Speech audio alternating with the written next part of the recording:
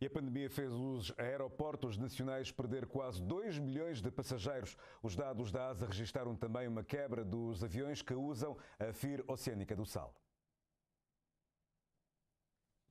De acordo com um boletim de tráfego da ASA, os aeroportos de Cabo Verde receberam em 2020 um total de 13.162 aeronaves, menos 62,6% face a 2019 em voos internacionais e domésticos.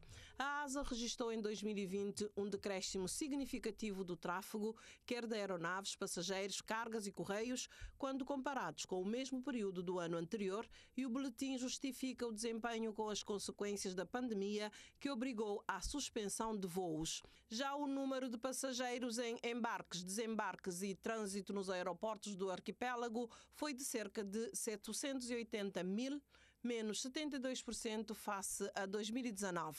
Os voos domésticos movimentaram quase 250 mil passageiros e os voos internacionais quase 530 mil passageiros.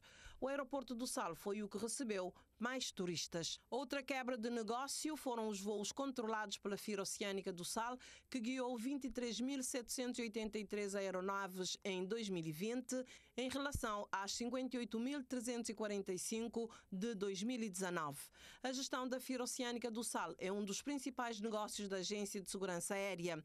O setor da aviação é um dos mais afetados pela pandemia da Covid-19 em todo o mundo, com fortes limitações à atividade face ao encerramento do espaço aéreo de vários países na tentativa de conter a progressão da doença. Os rendimentos da ASA com o setor da navegação aérea cresceram 19% de 2017 para 2018 para 2.945 milhões de escudos, o equivalente a 43% de todas as receitas da empresa pública que gere os aeroportos do país, não tendo a empresa divulgado publicamente até o momento os resultados de 2020.